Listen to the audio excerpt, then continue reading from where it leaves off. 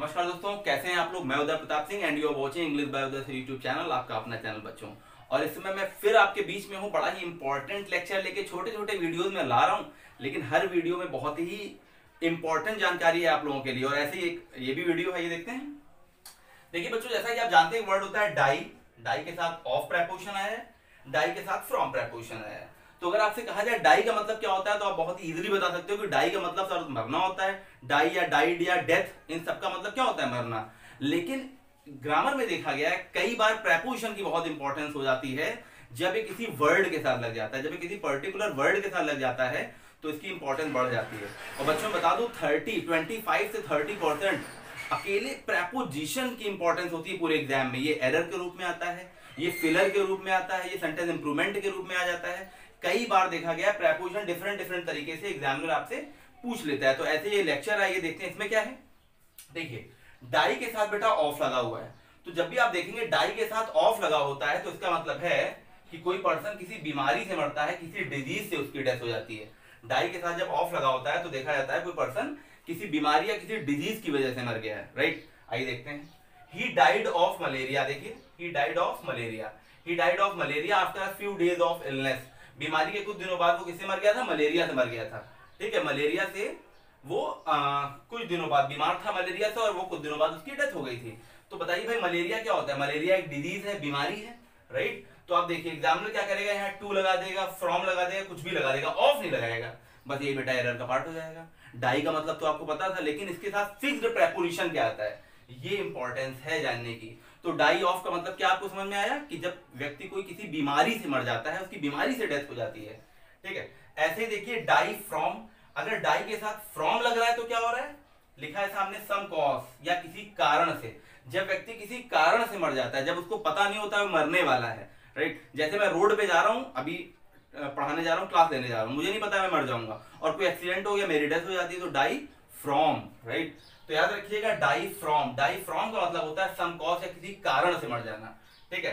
Karan died from an injury in his head अब करण के head में क्या हो गई थी? इंजरी हो गई थी, इस वजह से उसकी डेथ हुई है। अब आप लोग ध्यान से देखिए इंजरी कोई बीमारी तो नहीं होती है। ये तो एक्सीडेंट है, ये तो रीजन है। जो करण की डेथ हुई है, Karan died from an injury in his head उसके हेड में इंजरी हो गई थी, इस वजह से उसकी डेथ हुई है। तो डाइड के साथ क्या लगा है फ्रॉम लगा है ये इंपॉर्टेंस होती है प्रेपोजिशन की। यानी कि जब कोई किसी बीमारी से मरता है, किसी डिज़ीज़ से मरता है, उसको पता होता है मरने वाला है कैंसर है मलेरिया है, उसको पता है उसको क्या बीमारी है तो डाई के साथ ऑफ़ लगता है। बट जब आप डाई के साथ फ्रॉम लगाते हो तो इसका मतलब है किसी कारण से सम कॉज ठीक है? तो देखिए, दो सेंटेंस भी मैंने एग्ज़ाम्पल के लिए टेस्ट के लिए दिए हैं आप लोग के लिए। देखिए, आइए देखें कौन, कितने बच्चे सही करते हैं। तो पहला है करंट डाइड डैश कैंसर अब बताइए कैंसर क्या होता है? कैंसर क्या है? कैंसर एक डिज़ीज़ है, बीमारी है।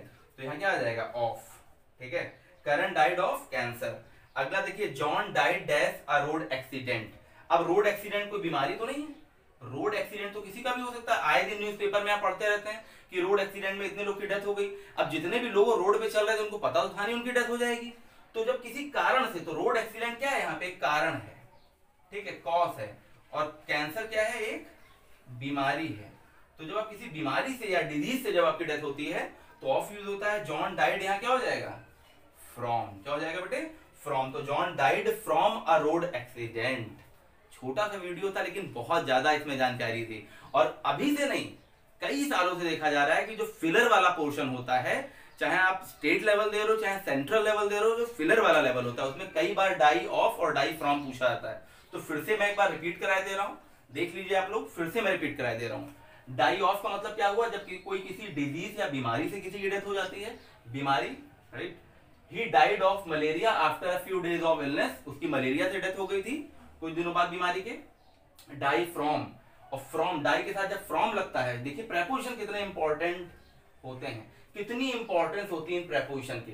ये वर्ड के साथ लग के उसकी पूरी पूरी मीनिंग ही बदल देते हैं। वैसे तो डाई का मतलब केवल मरना है, लेकिन ऑफ़ और फ्रॉम देखिए, कितना बड़ा अंतर आ गया। अगर आपको ये चीज़ नहीं पता है तो नंबर हंड्रेड परसेंट आपके कट जाएँगे। कितनी भी अच्छी इंग्लिश क्यों ना हो। तो कंपटीशन में यही चीज़ होती है। कंपटीशन में क्या होता है कि आपकी स्पीकिंग कितनी अच्छी है, आप इंग्लिश मीडियम से पढ़े हो, ये सब मायने नहीं रखता है। कंपटीशन में है कि आपकी अंडरस्टैंडिंग कितनी अच्छी है, आपकी समझ कितनी अच्छी है, ये इंपॉर्टेंस होती है कंपटीशन में। तो डाई फ्रॉम सम कॉज या किसी कारण से जब किसी की डेथ होती है तो क्या होता है? Die from Karan died from an injury in his head अब died from an injury injury क्या है? एक कॉज है, एक कारण है। ठीक है? तो मैंने दो एग्ज़ाम्पल भी नीचे लिखाए थे, दोनों एग्ज़ाम में आए हुए हैं। Mohan died of cancer of cancer क्योंकि कैंसर एक बीमारी है, और John died from a road accident road accident क्या है? एक कारण है। तो कम शब्दों में अगर कहना चाहें तो आप लोग, बीमारी डाई ऑफ़ और कॉज किसी कारण से जब किसी की डेथ होती है तो डाई फ्रॉम और अगर सरल शब्दों में कहना चाहें, जो मेरा अपना एक्सपीरियंस है, जब आपको पता होता है आप किस चीज़ से मरने वाले हो तो डाई के साथ ऑफ़ लगता है। ठीक है? भाई, बीमारी कैंसर है मलेरिया है। ठीक है? कुछ भी हो जाए। ठीक है? और जब आपको नहीं पता होता है, एक पल में क्या घटने वाला आपके साथ है यह नहीं पता है तो डाई फ्रॉम होता है। ठीक है? आशा करता हूँ छोटे से वीडियो से आपको सब कुछ क्लियर हो गया होगा।